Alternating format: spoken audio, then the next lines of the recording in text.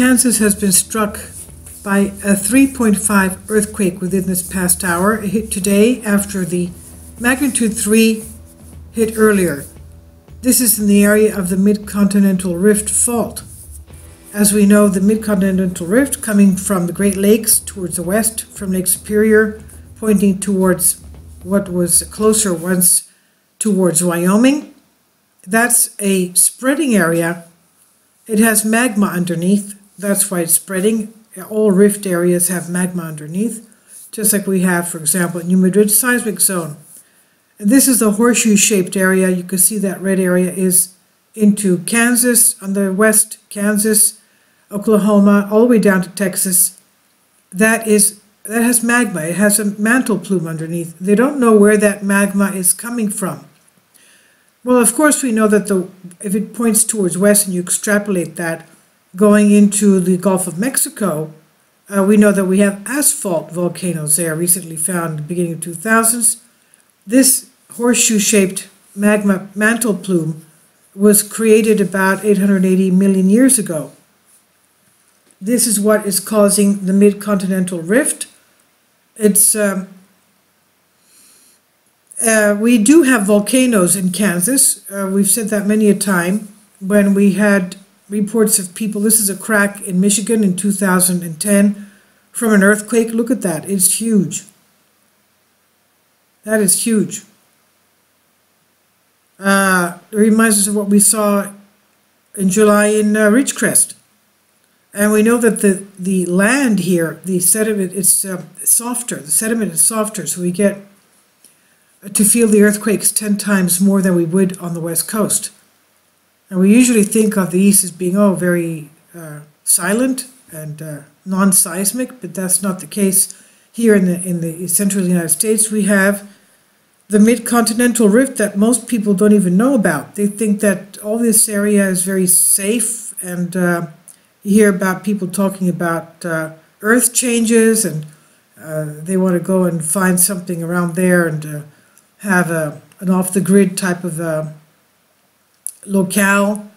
And uh, they don't realize that this is an area that has, this was one of the first areas a billion years ago that had uh, all this seismic activity, this, this tremendous amount, and they still have this magma under there and they don't know where it's coming from. I would venture to say the west part at least.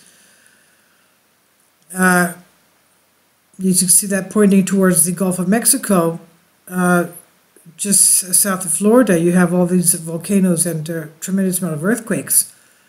The Caribbean islands are all volcanic islands. Puerto Rico is a volcanic island. The Antilles are volcanic islands.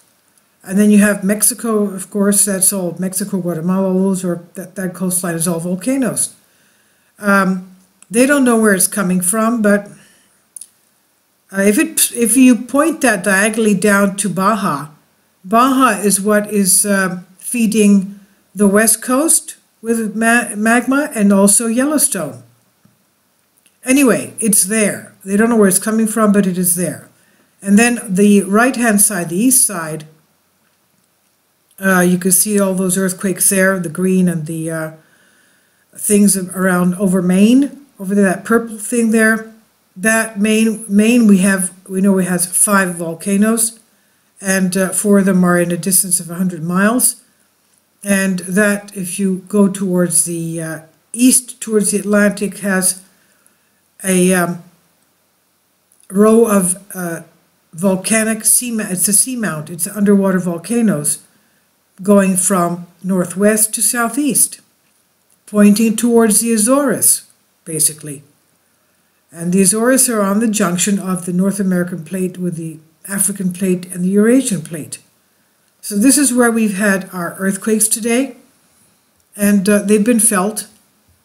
Uh, the five point, the 3.5 was uh, reportedly just as we said the past hour, and USGS says it's in uh, 11 kilometers south southeast of Anthony, Texas. It's on the south border of Kansas, reportedly felt by 19 people.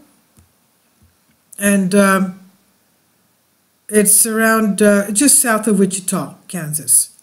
And the other one of 3.0 was um, just south of Lincoln. It's on the north border of Kansas. And that was reportedly felt by um, 13 people. But um, the one at three kilometers, uh, three magnitude was at um, 537 UTC time, 14 kilometers depth, and 3.5 was at 1900 hours UTC time. Uh, both in Kansas, one the north border and the other one was uh, south of Wichita, uh, as we said, on the south border. So that was felt, as we said. And um, it was felt all the way down uh, up to um, uh, Dodge City and Oklahoma City. For a number of months now, people in Kansas have been feeling their houses shaking. They've heard uh, boom sounds, blasts in the air. They sometimes describe them as supersonic jet booms, uh, and their houses are shaking and they, they're frightened. Now, we know that uh, here, here we have, um, and I'll leave a link below for you, volcanic ash deposits across Kansas. Uh, we know that the uh, there are at least three ancient volcanoes on the uh, northwest area of Kansas, and they're kimberlite volcanoes, which means that they spit out diamonds and they are explosive volcanoes. And now, when you have, uh, as we said, you've got the magma underneath, and you have uh, ancient volcanoes. Doesn't mean that they're extinct. I mean, okay, they may be dormant, extinct, whatever. But you know, lately a Russian volcano in the Aleutian Islands was thought to be extinct, and then they found they didn't even have it on the volcanic list and then they found that it was filled to the top with magma and ready to explode, to erupt, even though they thought it was extinct. So we don't know because we have magma under under this area. So the northeast has the kimberlite volcanoes, and um, they they could be releasing gas. The gas release may be um, creating that explosive noise. Um, and as you can see from here, this is where they have volcanic ash deposits and the tons, the tonnage is as well as uh, indicated there. Some are smaller, some are bigger. Um, and we looked at that after we heard of people complaining about the noise. So the ash deposits. Volcanic ash deposits of Kansas are usually widely separated, completely isolated.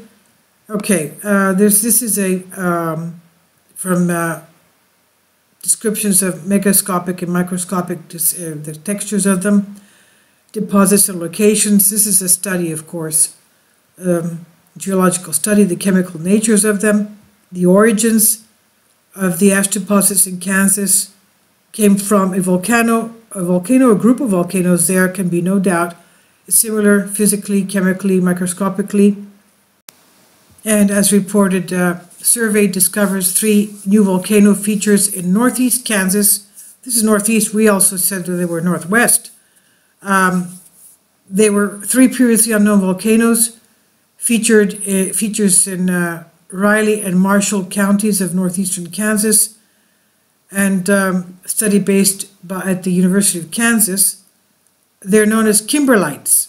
These deep pipes of volcanic material exploded to the surface about 90 million years ago.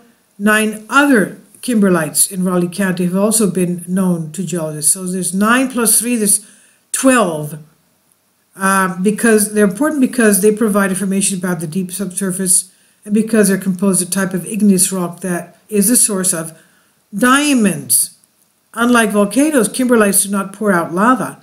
Instead, they explode violently to the surface forming small craters leaving behind a mixture of igneous and sedimentary rock that often contains garnets, dark red semi-precious stone. Garnets are beautiful. One of they, they're darker than rubies. One of the previously known kimberlites near the small town of Winkler in northern Raleigh County produced a shallow crater several hundred feet in diameter that's visible on aerial photography. All of the newly discovered kimberlite volcanoes are covered with soil 15 to 20 feet below the ground surface, all are on private property. So uh, know that that they don't have lava. They they explode diamonds, and they're explosive. Um, this is what uh, I want you to be aware of there. Okay, this is Kansas. It's not just not. It's not just Kansas. This is all the way down, and that's what happens when you have uh, these uh, magma plumes underneath.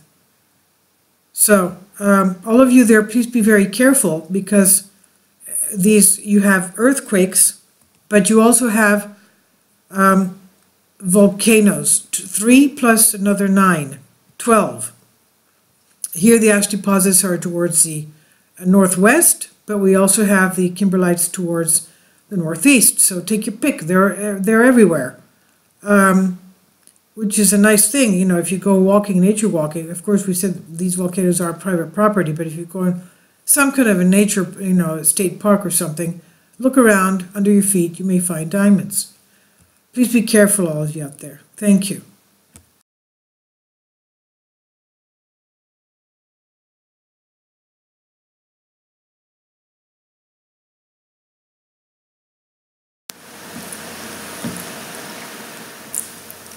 If you'd like to join me on my Patreon account, you will hear content not covered by mainstream media. These riveting stories will be based on my research, and I will state my opinions and give my personal insight on diverse and controversial subjects and world events, events not covered by mainstream media, and not certainly on not supported by YouTube guidelines. So whatever I have on my Patreon, most of those will not be on my YouTube channel. Please consider becoming a member today. More of the, the most significant and important videos will be on my Patreon channel. Your support helps me to continue my research and keeps this YouTube channel alive. And we depend on your support, your generous charity, because we help economically challenged families here in Athens, Greece, in Kapota, and we also help the young generation with university tuition and the community around our church. Thank you.